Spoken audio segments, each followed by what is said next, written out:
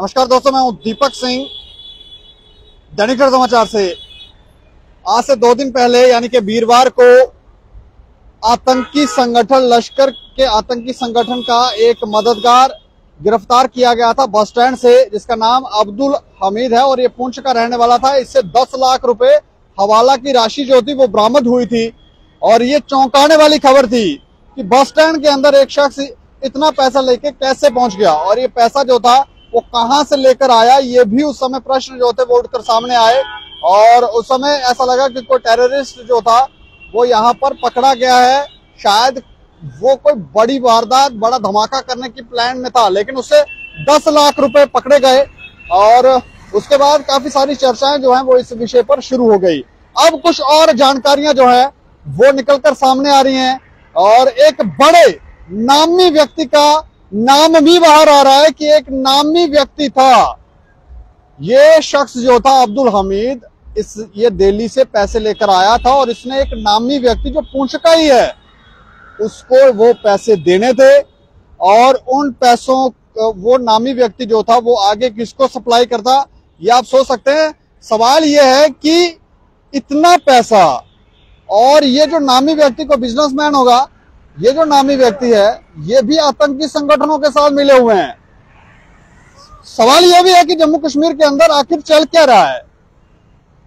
सरकार बड़े बड़े दावे करती है बड़ी बड़ी बातें करती है कि हम आतंकवाद को यहाँ से जड़ से समाप्त कर रहे कर लेंगे, लेकिन ये लोग ऐसे आराम से घूम रहे हैं जैसे इनको कोई डर खौफ नहीं है। और सुनने में ये भी आया कि दो चार बार पहले भी ये अब्दुल हमीद जो है वो दिल्ली से पैसा लेकर आया हुआ है। अब ये पैसा कहाँ कहाँ गया है क्या क्या हुआ है, ये सब जो है वो हमें लगता है जाँच का विषय है, लेकिन इस खबर को हम आपको विस्तार से बताने जा रहे हैं कि ये खबर जो है वो है क्या। आज से दो दिन पहले बस स्टैंड इलाके से जो आतंकी आतंकी संगठन लश्कर का मददगार पकड़ा गया था अब्दुल हमीद, उसने कुछ चौंकाने वाले खुलासे किए हैं। उसे दो दिन के लिए, दो दिन की रिमांड पर लिया गया है, वो पेशे से एंबुलेंस का चालक है। एंबुलेंस का ये ड्राइवर है, ये जो शख्स है अब्दुल हमीद। और इसने पूछताछ के दौरान पुंछ के रहने वाले एक नामी व्यक्ति का नाम लिया है, एक नामी व्यक्ति का नाम बताया है कि उसको इसने पैसे देने थे।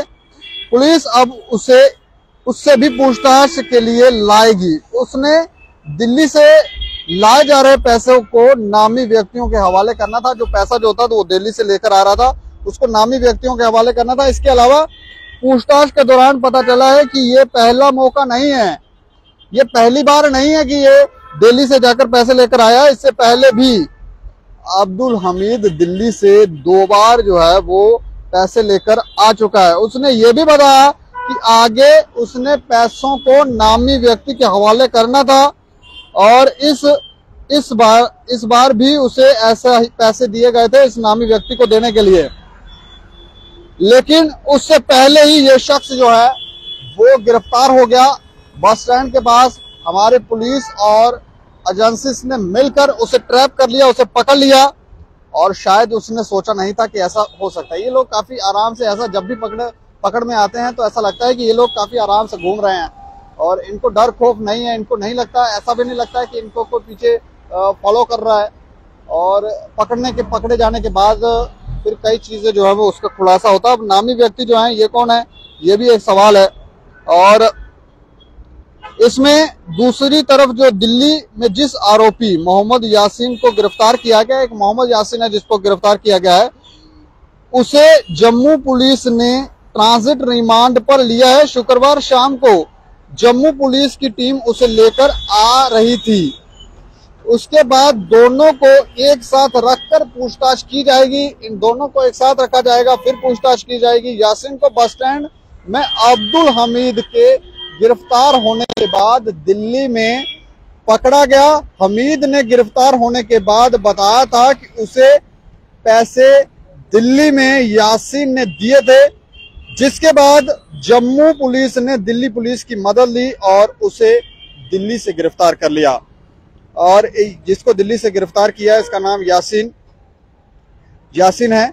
उसके बाद वीरवार शाम को जम्मू पुलिस ने एक टीम उसे लेने जम्मू जम्मू की पुलिस की एक टीम जो थी वो दिल्ली गई और उसे पकड़कर यहाँ पर ले आए। उसके साथ ही काफ़ी समय से हवाला का कारोबार भी ये शख्स जो था वो कर रहा था।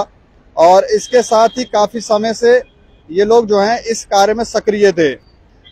और उसने ही दो बार पहले हमीद को पैसे दिए थे। ये जो शख्स दिल्ली वाला, इसने दो बार पहले पैसे दिए थे।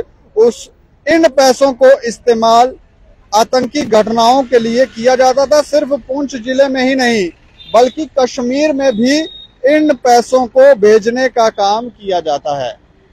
और इस मामले में विदेश का भी लिंक बाहर आ रहा है। विदेश का भी लिंक आ रहा है। विदेश से भी शायद पैसे आ रहे होंगे। दिल्ली में गिरफ़्तार आरोपी की पूछताछ के दौरान पता चला कि विदेश से हवाला का पैसा आया था, जिसे जिसे सूरत तथा मुंबई में रिश्व किया गया। वो दिल्ली में मीना बाज़ार में कपड़े का काम करता था। उसकी आड़ में लश्कर तथा अल बदर के लिए हवाला का काम जो था वो किया जा रहा था। इसके घर की तलाशी के दौरान सात लाख रुपए नकद भी बरामद हुए पूछताछ के दौरान पता चला है कि उसने हमीद के अलावा दो और लोगों को पैसे दिए हैं, लेकिन इन तमाम बातों की बातों का पता पूछताछ के बाद ही चलेगा। अब तक कितने पैसे प्रदेश में पहुँचे हैं, यहाँ पर उसका किन लोगों से लिंक है और इसके अलावा उसकी सीमा पार किन लोगों से बात होती है, ये पैसे कहाँ से आते थे, जिन्हें जम्मू कश्मीर में आतंकवाद को बढ़ाने के लिए इस्तेमाल किया जा रहा था, बता दें कि पुलिस ने, बता दें हम आपको कि पुलिस ने, पुलिस की एजेंसियों ने मिलकर एक पुख्ता सूचना पर बस स्टैंड से अब्दुल हमीद जो पूंछ का रहने वाला है अब्दुल हमीद इसको गिरफ़्तार किया था।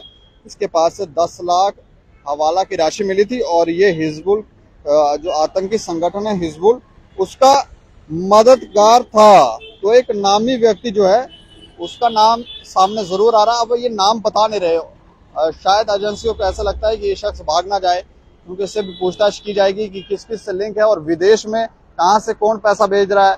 क्योंकि ये जो आतंकी लोग हैं, ये कहाँ कहाँ से, इनके कहाँ कहाँ लिंक हैं कहाँ कहाँ से ये लोग पैसे भेज रहे हैं और किस तरह से जम्मू कश्मीर का माहौल खराब करने का ये लोग प्रयत्न कर रहे हैं, ये बहुत चिंता का विषय है।